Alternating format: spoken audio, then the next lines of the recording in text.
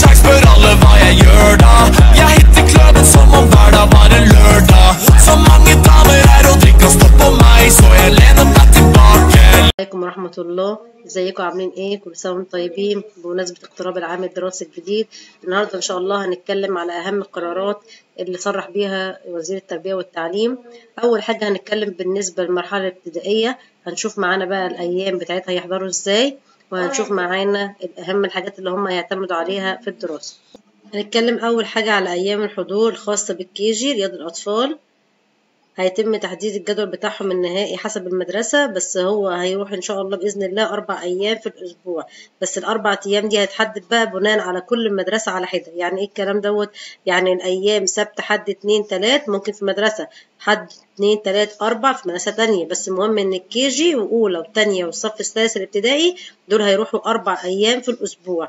ده الكلام ده في المدارس اللي هي فترة واحدة. طب لو مدرسة فترتين هيروحوا كيجي وأولى وتانية وتالتة ابتدائي تلات أيام في الأسبوع. طيب هيعتمدوا على إيه بقى في نظام التدريس بتاعهم؟ الاعتماد على معلم الفصل اعتماد كلي في الأربع أيام وبعد كده في عندنا القنوات التعليمية بالنسبة للصفوف اللي هي من أول الرابع والخامس والسادس. لكن بالنسبة للكيجي وأولى وتانية وتالتة ابتدائي هيعتمد على معلم الفصل تدريس المنهج الجديد بتاعهم اللي هو متعدد التخصصات وبالنسبة لل English اللي هو منهج Connect أو Connect Plus كده بالنسبة للثلاث الصفوف الأولانية أولى وتانية وتالتة وال KG طب بالنسبة بقى للصف الرابع والخامس والسادس هيروحوا بقى يومين بس في الأسبوع الصف الرابع والخامس والسادس. برضو هيتم تحديد اليومين دول على حسب كل مدرسة سبت وخميس تلات وأربع اتنين وأربع على حسب كل مدرسة. بس هيروحوا يومين بس في الأسبوع. ده كده في المدارس اللي هي فترة واحدة. طب المدارس اللي هي فترتين هيروحوا ثلاث أيام في الأسبوع. ده الصف الرابع والخامس والسادس. طيب هيعتمدوا إيه بقى في الدراسة بتاعتهم على بقية الأيام؟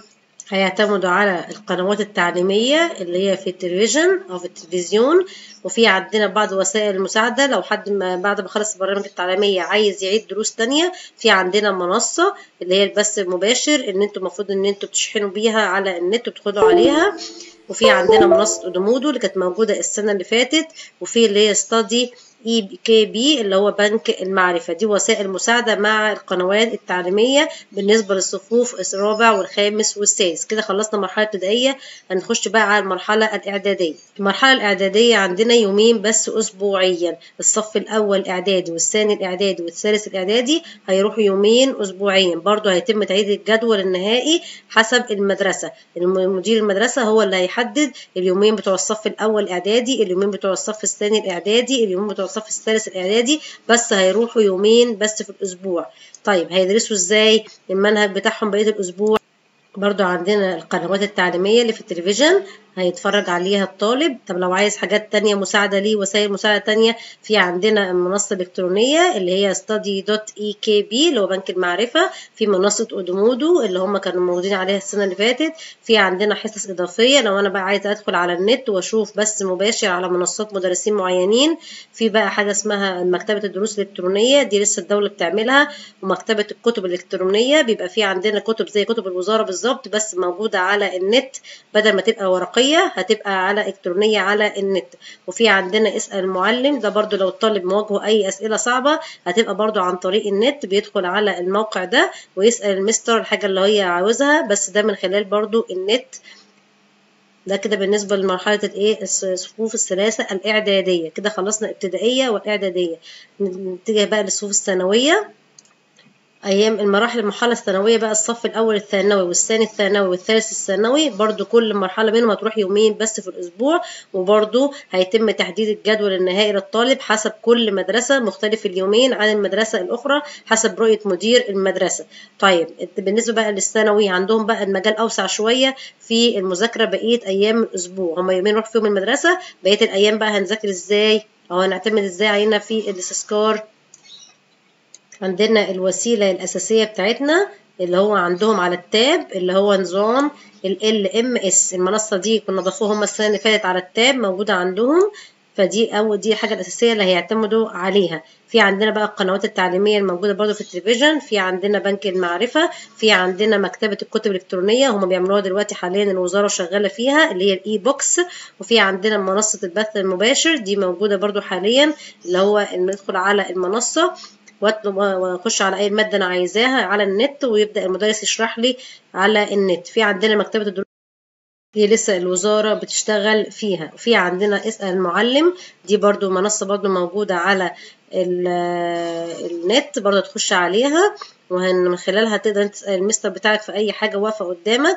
في عندنا Study EKB دي موجودة من السنة اللي فاتت المنصة الإلكترونية لبنك المعرفة موجودة عندهم على التاب. وفي منصة Edmodo دي برضو موجودة عندهم من السنة اللي فاتت على التاب يقدروا برضو اللي هم يخشوا عليها ويشوفوا الدرس عندهم بيتشرح إزاي. طب في عندنا بقى بعض أبرز النقط النقط اللي قال عليها الوزير بالنسبة للثانوي هنستعرضها مع بعض نشوفها كده مع بعض إيه أبرز النقط اللي قال عليها؟ أول نقطة عندنا إن الدراسة إن شاء الله هتبدأ من أول السنوات كلها لغاية الثانوي يوم 17 أكتوبر إن شاء الله بإذن الله بالنسبة للمدارس الحكومية والخاصة. بالنسبة للمدارس الانترناشونال هتبدأ يوم 15 9 تاني حاجة الثانوية العامة القديمة خلاص انتهت لا يوجد عنصر بشري في الثانوية العامة الجديدة يعني كله هيمتحن على التاب أولى ثانوي وتانية ثانوي وتالتة ثانوي مفيش بقى هنا المدرسين هم اللي هيحطوا الامتحانات.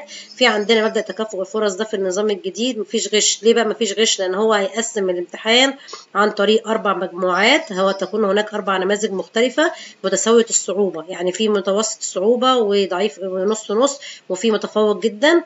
ده المستويات دي هتتقسم على أربع مجموعات بحيث إن يبقى قاعد الطالب في اللجنة بتاعته على التاب بتاعه مختلف عن زميل قاعد جنبه امتحاناته الامتحان بتاعه مختلف عنه والتصحيح هيكون إلكتروني يعني مش المدرس هو اللي هيصحح الكمبيوتر هو اللي هيصحح فبكده هيكون في حاجة اسمها مفيش غش مفيش تسريب الامتحان لأن كله هيكون موجود على التاب. النظام بقى الجديد الثانوية عامة ده بيقول لي ممكن أنا أحسن الدرجات بتاعتي في أي مادة أنا عايزاها من خلال إن أنا أعيد تاني الامتحان في شهر أغسطس. الامتحان هيكون في شهر يونيو يوليو اللي هو شهر سبعة.